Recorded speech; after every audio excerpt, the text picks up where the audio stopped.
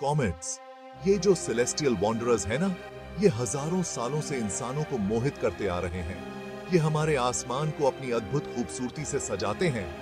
लेकिन ये cosmic travellers असल में हैं क्या? जरा सोचो एक स्नोबॉल के बारे में। लेकिन ये स्नोबॉल धरती की बर्फ़ से नहीं बना है। ये स्नोबॉल तो आइस डस्ट और रॉक का एक कॉस्मिक कॉकटेल है। ये आइसी बॉडीज जिन्हें अक्सर डर्टी स्नोबॉल्स भी कहा जाता है, अविश्वसनीय सफ़र पर निकलते हैं। ये हमारे सोलर सिस्टम के सबसे दूर के हिस्सों से यात्रा करते हैं।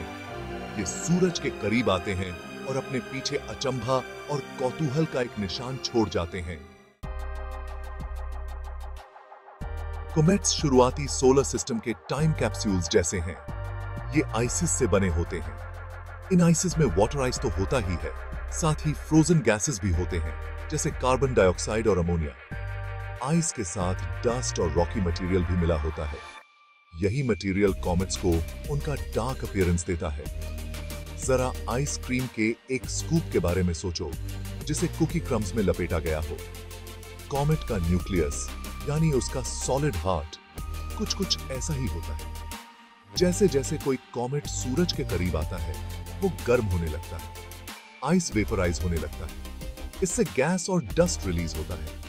जिससे न्यूक्लियस के चारों ओर एक हेजी क्लाउड बनता है, जिसे कोमा कहते हैं। ये कोमा बहुत बड़ा हो सकता है। कभी कभी तो एक प्लैनेट से भी बड़ा।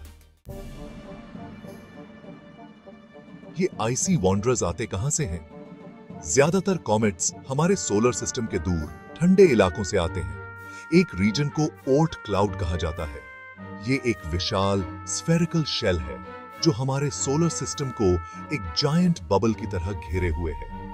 ओर्ट क्लाउड इतना दूर है कि ये मुश्किल से ही सूरज की ग्रेविटी से बंधा हुआ है। ये एक कॉस्मिक रेफ्रिजरेटर की तरह है, जो सोलर सिस्टम के बनने के समय से रेमनेंट्स को प्रिजर्व करके रखा हुआ है। नेपट्यून के ऑर्बिट के पार, थोड़ा करीब कॉमेट्स का एक और रिजर्वॉर है, जिसे काइपर बेल्ट कहा जाता है। ये रीजन एक डिस्क के आकार का है। ये मार्स और जुपिटर के बीच एस्ट्रॉइड बेल्ट जैसा ही है। काइपर बेल्ट कई आईसी बॉडीज का घर है, जिसमें प्लूटो भी शामिल है। ये आईसी बॉडीज ग्रेविटी की वजह से अपनी जगह से हिल सकते हैं। फिर ये सूरज की तरफ़ अपने सफ़र पर निकल पड़ते हैं और कॉमेट्स बन जाते हैं। और कॉमेट्स बन जाते हैं। Section four cometary journeys a celestial ballet. Comets सूरज के चारों ओर हाईली इलिप्टिकल ऑर्बिट्स में यात्रा करते हैं। यही वो रास्ता है जो एक कॉमेट लेता है। जैसे जैसे यह सूरज की गर्मी के करीब आता है, इसकी गति तेज होती जाती है। जैसे जैसे कॉमेट गर्म होता है, इसकी बर्फ़ वाष्पीकृत होती जाती है, जिससे कोमा बनता है। ये पूंछें लाखों किलोमीटर तक फैल सकती हैं।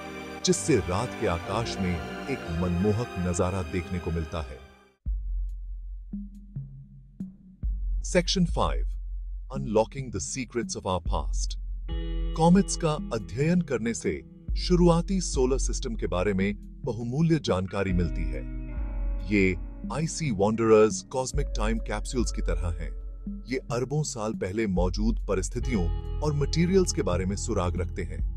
कॉमेट्स की संरचना का विश्लेषण करके वैज्ञानिक ग्रहों के निर्माण खंडों के बारे में जान सकते हैं। वो पानी और कार्बनिक अणुओं के इन प्राचीन यात्रियों द्वारा पृथ्वी तक पहुँचाए जाने की संभावना की भी जाँच कर सकते हैं।